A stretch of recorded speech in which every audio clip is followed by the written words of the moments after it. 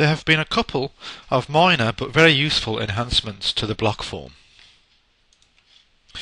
The first of these is the ability to ignore or consider the reference model when calculating the overall block dimensions.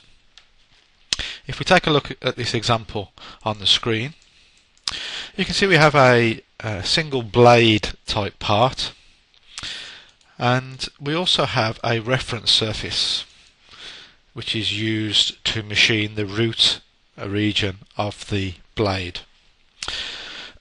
This reference surface is actually been read in as a reference model. So PowerMill knows to automatically ignore that reference model for any toolpath calculation, calculations. In previous versions of PowerMill, PowerMill 2010 and earlier, uh, when we calculated the block, PowerMill considered every surface in the part for the block calculation, including the reference models, which typically was not desirable. So in this version, we've added a simple option to the block form to either include the reference surfaces in the calculation or to ignore the reference surfaces in the calculation. So if we leave it switched on for the moment and we just calculate the block, you can see that the block is much bigger than the actual part we want to machine and is created to the extremities of the reference model. So this is the behavior we would get in 2010 and the only way around that would be to select the whole model ignore the reference surface and then do a recalculate okay and then we get the correct size but now all we have to simply do is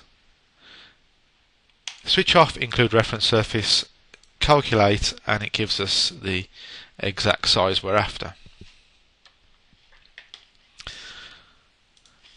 The other new feature on the block form is the ability to save or export the block as either an STL file or a DMT file.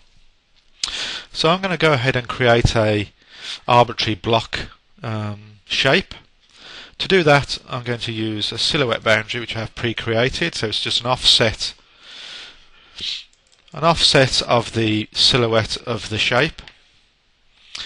So we're going to select define our block by boundary and then calculate to get the extents in Z. So there we have our arbitrary block and then there's a new option to save the block out as either an STL or a DMT. Accept that. If we now delete our block and read the block in via triangles, I can load that block back in that I